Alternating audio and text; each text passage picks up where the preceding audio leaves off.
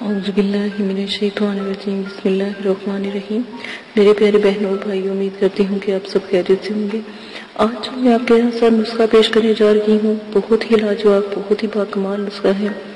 اور ایسے وزن کم کرتا ہے کہ آپ خود صرف ایک تسبیح ہے اور چھوٹا چھوٹا سا نسخہ ہے۔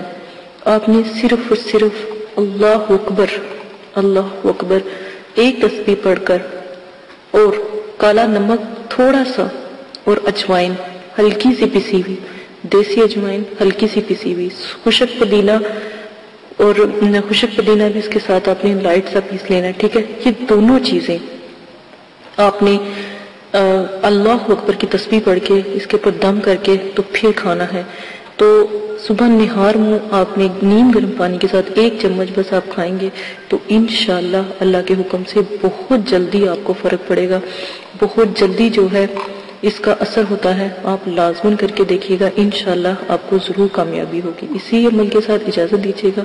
اپنا بہت زیادہ خیال رکھیے گا۔ بہت نایاب تصویر ہے اللہ اکبر کی اور بہت جلدی اثر کرتی ہے۔ اجازت دیں، اپنا خیال رکھیے گا۔ اللہ حافظ۔